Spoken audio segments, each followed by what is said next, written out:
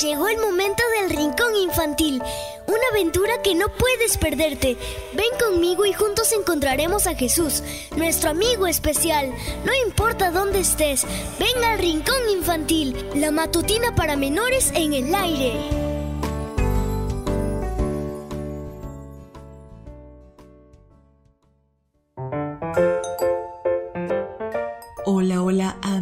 Y amiguita de Jesús. Es súper fantástico iniciar este lindo lunes contigo, que este día puedas encontrarte con Jesús y tener una conexión especial con Él. Te saluda tu amiga linda. Y ahora vamos juntos y aprendamos más en otra aventura de la Biblia. ¿Listos? Comencemos. Para hoy, el versículo se encuentra en Malaquías 3:11. Búscalo en tu Biblia y lo lees junto conmigo. Dice así, no dejaré que las plagas destruyan sus cosechas y sus viñedos. ¿Sabías que Esther 8:9 consta de 80 palabras y es más extenso que el Salmos 117? Y la historia se titula Recordemos que Dios cumple siempre sus promesas. Qué bueno es que al leer la Biblia, dijo el papá, encontramos mensajes de esperanza para cuando estamos pasando por algún momento difícil. Eso le ocurrió a la familia Gutiérrez, como lo comentó el libro Cuéntame una historia, el tomo 4. Esa familia tenía una huerta de tomates y esperaba que produjeran mucho para recuperar la inversión y tener dinero suficiente para solventar algunos gastos.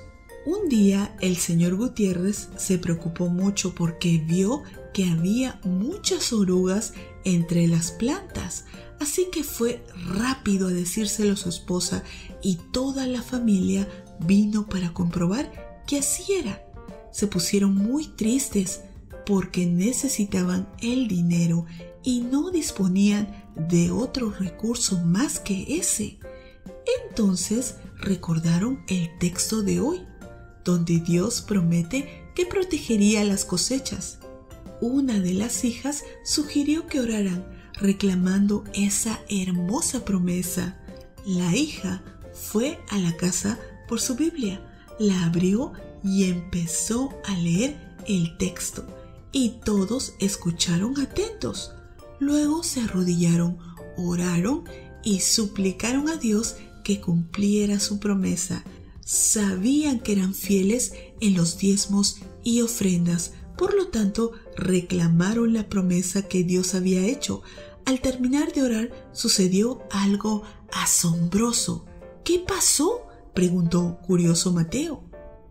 Apareció un mirlo, continuó el papá. Después otro, otro y otro. Realmente no se podían contar. Empezaron a comerse las orugas ante el asombro de la familia. Los mirlos permanecieron allí un buen rato hasta que se comieron todos los insectos y después emprendieron el vuelo. Dios cumplió su promesa, exclamó Susana. Dios cumple sus promesas. Hay que leer la Biblia para conocerlas y confiar en que se cumple, finalizó el papá. Querido Dios, ayúdame a confiar en tus promesas porque son maravillosas. Amén. Espero que te haya gustado esta linda historia. No te olvides de compartirla con tus amiguitos y amiguitas. Abrazo tototes de oso y nos vemos mañana para escuchar otra linda historia. Hasta luego.